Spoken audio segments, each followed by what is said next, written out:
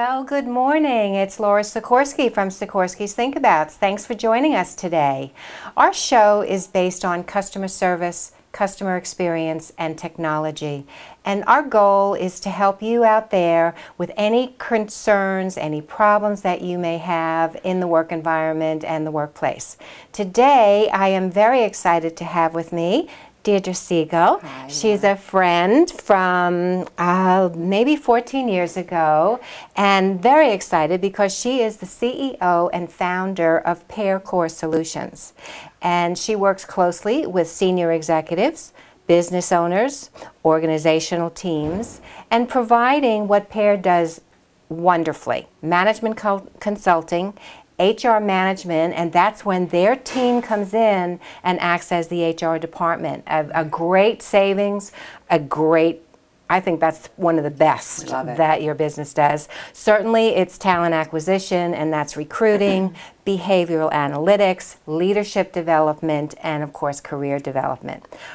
Deirdre's focus at the firm is primarily organizational development, leadership development, and behavioral analytics. So she was perfect today for us to talk about our topic, which is empathy in the workplace. But one thing I'd like Deirdre to explain to us is she is a certified Kolbe consultant. And I'd like you to explain to, the, to our audience what that means. Sure. So, uh, if any, I don't know if you're familiar with uh, the world of assessments in, uh, in the workplaces. So there's, uh, if you think about three parts of the mind, you have the cognitive, which is pretty much IQ, skills, mm -hmm. knowledge, and you could jump online at any time, Google free IQ test, and many out there. Mm -hmm. Uh, the affective part of the mind is more about personality traits and characteristics, and I'm sure you're familiar with DISC, Myers Briggs, mm-hmm. uh, CPQ. There's so many assessments out there that look at personality, um, which we use a few. Kolbe is a little different. So Kolbe looks at the conative dimension of the mind, which is irrespective of how smart somebody is or what their personality is, if they're extroverted or introverted. Mm-hmm. Kolbe looks at pure instinct, gut instinct, and how somebody will take action. And there's no right or wrong way mm-hmm, to do mm-hmm. that, mm-hmm. right? It is the only assessment uh, around that looks at instinct. It's been around for 30 years.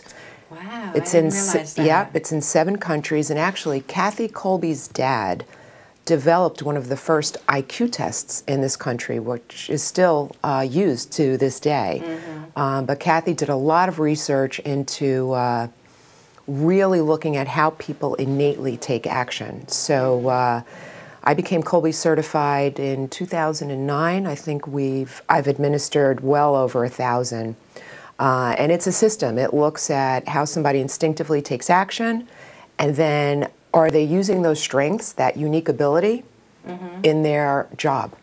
You know, and that's perfect uh, because we kind of concentrate on customer service and yeah. customer. So for you know the value of what you can provide, I think is incredible and uh, mm. I look forward to uh, learning more about it as we progress. Uh, Deirdre and her team will probably be regulars on our TV show, and uh, we're excited about that. Thank you. So today, um, we're going to talk about what is empathy, and uh, Deirdre prepared some really great questions, and I'm going to say they're good think abouts as well. So um, why do we care about empathy in the workplace? What does that mean to me? I'm a business owner, I'm a manager, a director. Mm. Why do I really care about that? Most likely you don't. Well, that's scary. that's really scary. Yeah. So, um, well, what is empathy? I mean, so what is empathy, the definition? Empathy is uh, different than sympathy. Empathy is really being able to put yourself in somebody else's shoes. It's showing that you actually listen uh, authentically mm-hmm. uh, to what's going on. And empathy is, uh, you know, a great diffuser in conflict situations. When, uh, you know, somebody with high empathy or somebody who wants to increase their empathy skills, mm-hmm. which you can, will never hear statements like, you don't know, you didn't hear a word I said, okay? You're not listening. Uh, usually, what happens is when, when somebody is in uh, an agitated state and they're complaining, they could be complaining about a situation, they could be complaining about an individual or a group or a troop of individuals. Very often, the listener wants to have the answer. You're mm-hmm. already processing the solution Right. for this person who is visibly upset Right. and coming to you. That's just an auto response. In communication, listening is 50%. So to be a great communicator, you have to have amazing listening skills, right? We are trained really not as great listeners. We're great speakers, we're great Mm-hmm. responders, right, verbally. Listening is not very, uh, it doesn't It's come not easily. part of our nature, I think. It just isn't. So so empathy. Why do we care about empathy? The fact is is that most uh, business owners don't understand the importance of empathy and, and how to train people to have more empathy, to be better listeners.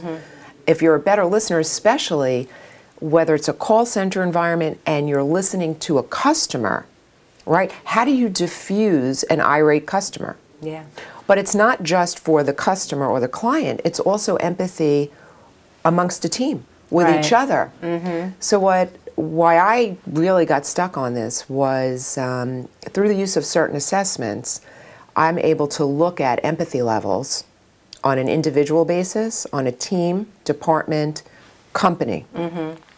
And I started to see a huge trend of low empathy levels. And the why made sense. You know, tolerance is very short. The times we live in, people are very stressed out. You know, they're Um, calling, they're complaining, they want you to listen. Totally. Give me a solution. See you bye. Right. You know. And, and internally, if you need to depend on somebody else to get you something so you can complete a project, let's say, or get an answer to Mm-hmm. a customer, we everybody's coming into work every day with a whole story behind them. right. right? So our tolerance levels are low. So I started to see this pattern of low empathy levels, and I thought, you know, it's an easy thing if you're aware. Self awareness is key, and uh, there's a great book that actually outlines the seven steps of great leadership. Uh, steps on a ladder, and one of them is self awareness. So you have to be aware of what's going on. Where, where is your head at? How are you right. showing up? Right?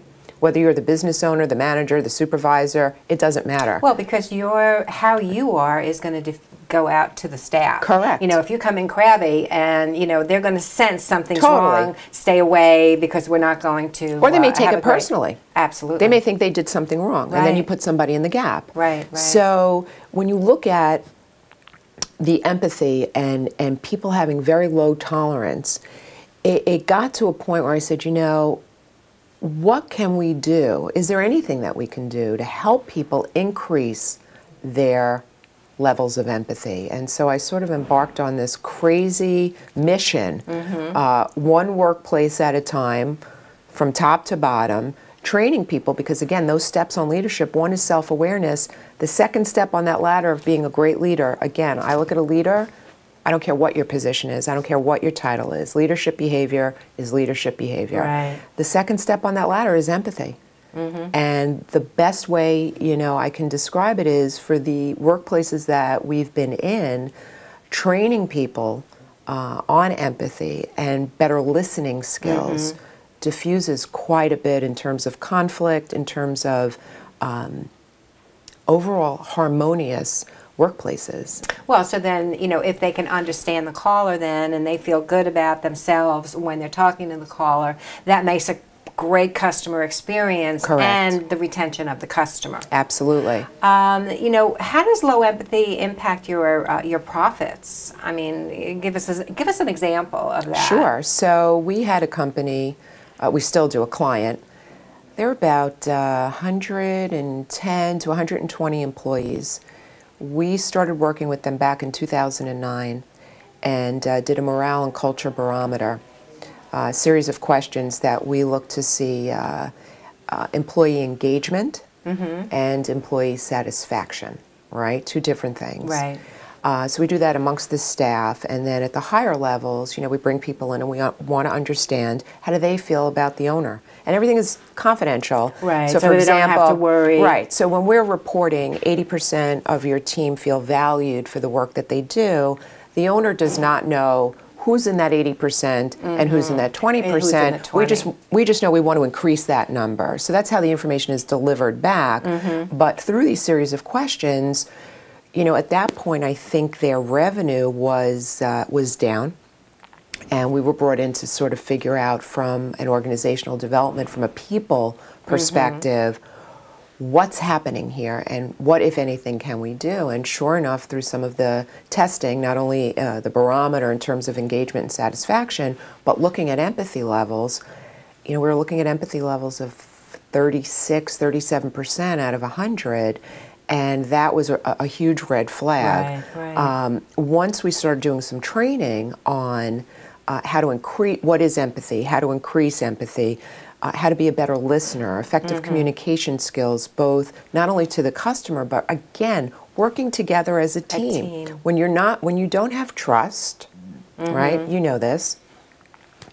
You're not fully engaged in what you're doing, right? And it's, it, I find that very important. Um, a lot of times in in the call center industry, managers don't walk the floor.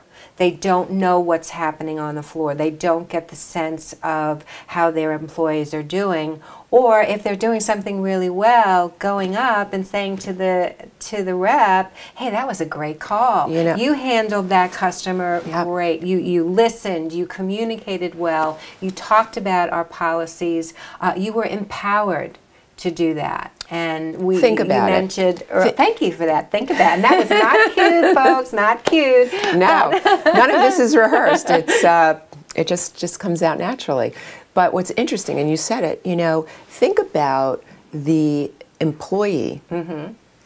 who doesn't get the feeling that the manager is really interested mm-hmm. in how they're doing. Let's say it's just about numbers. And that's right? so sad. Just in general, that's sad. So if I'm the employee and I'm not feeling you really care about what Mm-hmm. I'm doing, let alone how I'm doing it, where am I engaged? Why do I want to care if Yeah. you don't care, right? That's one. Two, feedback. We had a situation the other day. You know, feedback is so critical. And, you know, you look at performance evaluations, everybody ties performance evaluations to money. and that's And that, that's a, a traditional, in my opinion, antiquated way. Mm-hmm. Performance evaluation is about how are you doing? What's great? Mm-hmm. What can be better? Here's some goals and objectives, some KPIs. Here's what in the next 30, 60, or 90 days, love to see you accomplish. And when you do see somebody doing something well, letting them know that so you're reinforcing that good Right. behavior. Otherwise, what's the point? I mean, we had a situation the other day checking in on a new employee, and um, you know, the business owner said, "So far, so good. You know, really tough position to fill." Et cetera, et cetera, and you know this this girl's real, the gal's really doing very well, and no complaints so far. And you know, my question is, have you shared that? right. Have you ex- have you discussed it? doesn't even have to be more than a, two minutes. Hey, I Mm-hmm. just want to let you know. So far, just so happy that you're here. Yeah. Really changes the dynamic, It and does. it may take a little thoughtfulness to do it if it doesn't come naturally. But in conjunction with practicing your listening skills, again, going to self awareness, being aware to be a little more Mm-hmm. thoughtful, makes a huge difference and totally affects the bottom line. So, going back to that first client, um, their profits they went from 50 to 80 million dollars. Wow. Now, I will not claim responsibility saying that's because we increased the empathy by I, X I don't percent. know. I would. I Well, I will say this: they're still our client, Uh-huh. and um, you know, it's uh, it has been key. And wherever I go, one of the things I do look for is, you know, where's the empathy? I mean, we once had two CEO, two co-CEOs. I think uh, one's empathy was 24 percent, the other was like 37 percent, Wow. and. Uh, Trying to educate them on the value of empathy was a little difficult, you could imagine.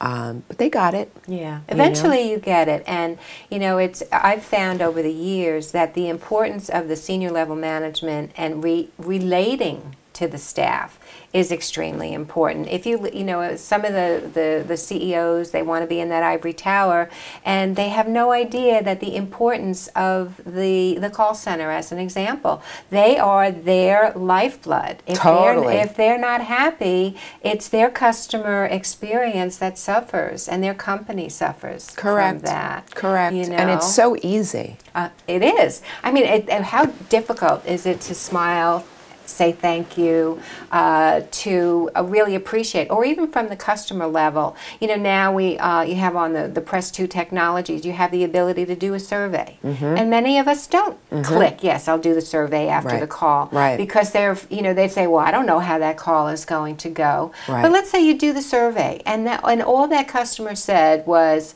great job, I, my problem was solved. Right so many people forget. Share it with the staff. You're reviewing that live anyway.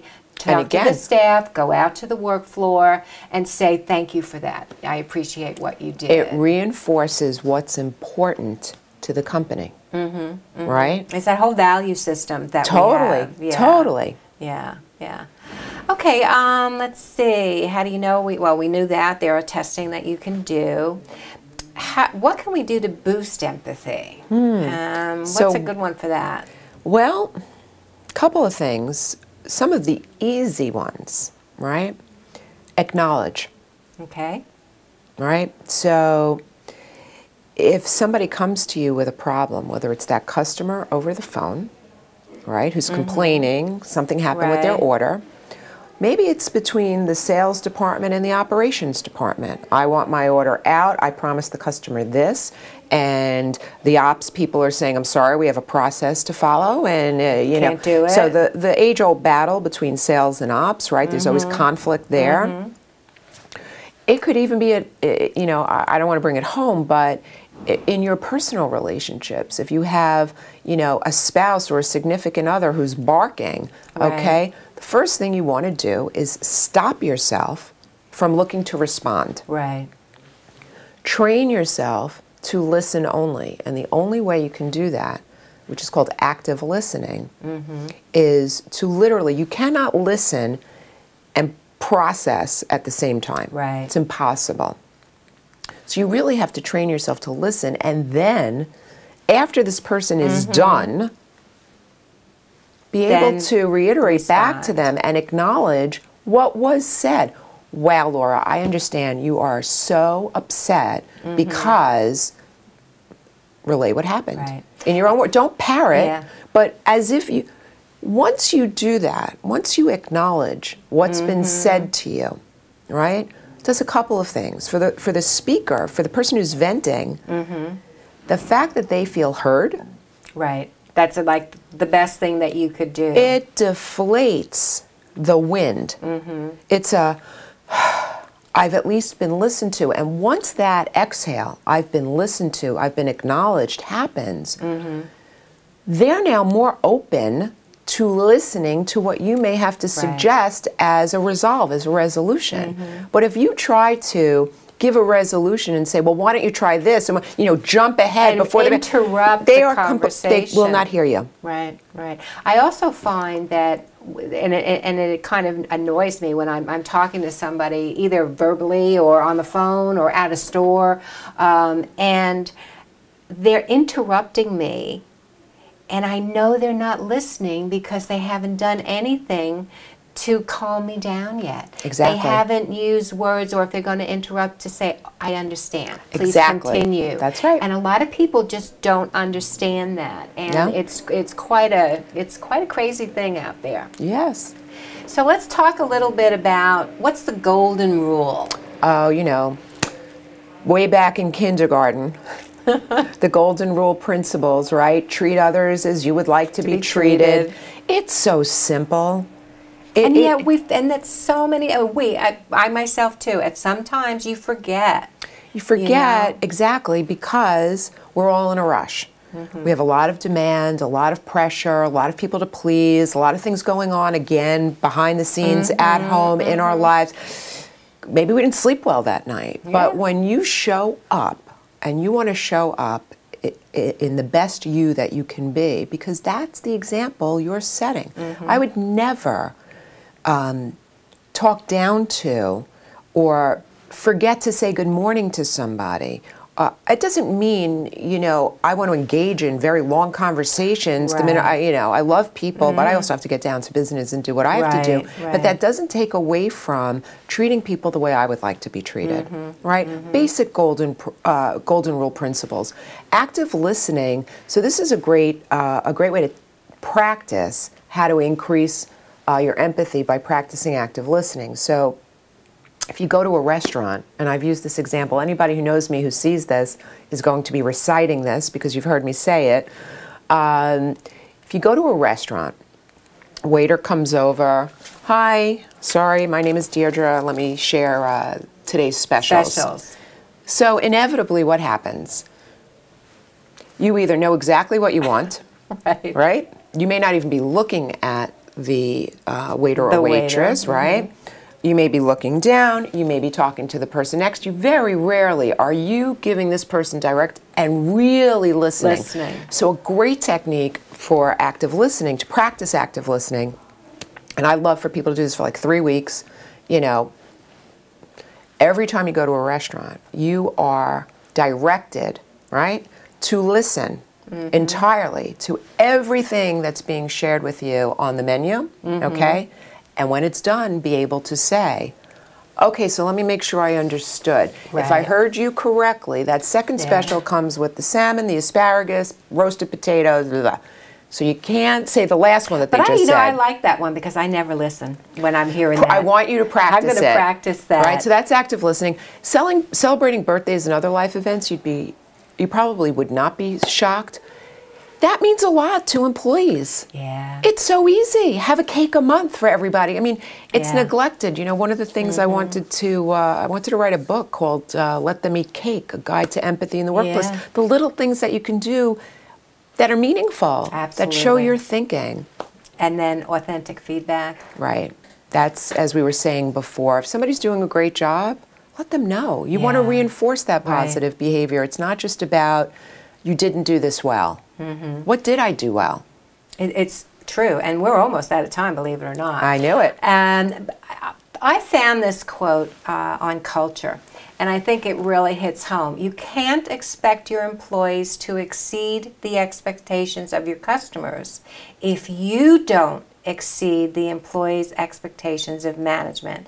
And by Howard Schultz of CEO of Starbucks. And this ties right in to everything and kind of encapsulate, encapsulates exactly what we do. So, you know, if we could, let's do a couple think abouts from our talk this morning. Lead by ex- example, mentor your staff, clear career paths, continuous education. You know, we all are eager to learn. Let's continue that with our staff. Train them. Definitely. Have them go to an outside seminar because that that makes them feel special. Wow, they spent some money on me going out to learn. Uh, walk the work floor that we talked about, and recognize your staff that they are the greatest asset. One addition. Yes, Be real. Be real. How Be authentic. Mm-hmm, mm-hmm. Because we all know if somebody is being fake. Yeah. A great, hey, yeah, great job. You know what? Be specific. Right. Be authentic and be real. Perfect. Perfect. That's what I would add. Now we have our, our Twitter question today. Okay. Uh, it's from Sally out in the field, and she says the following I have a senior, a valued senior employee who just isn't happy at work anymore. He is always negative, and his atti- attitude is starting to rub off on others. Any advice on what I can do? Yeah, I mean, if we were in that situation, you know, the first thing I would do is, uh, believe it or not, uh, a Kolbe A. Where, you know, what are what are this employee's unique abilities? How do they instinctively take action? I would then do another Kolbe called a Kolbe B to see is their unique ability actually being used in what they're doing. Maybe they mm-hmm. have strengths that are being underutilized, Right. which is creating an unhappiness or a disconnect, or they're being pushed out of their comfort zone on a regular basis by certain tasks that they have to do. So I'd look to see if mm-hmm. there's disparity. You know, are their strengths really being utilized? Right. One. Two, I'm a fan of getting to the root. Right. What's bothering? What's bothering yeah. you? It could be a family situation. Exactly. It could be a you know an, a myriad of things. And that's empathy. And that's just I think just by saying what's wrong. How you can I help? And it doesn't have to be in the office. Right. You know, let's take a walk. Let's go for a cup of coffee. Yeah. Um, you know, take them out of their environment, and then that I think that would You help. show that you care right. And that authentically. that's that's it. What are you thinking? What are you feeling?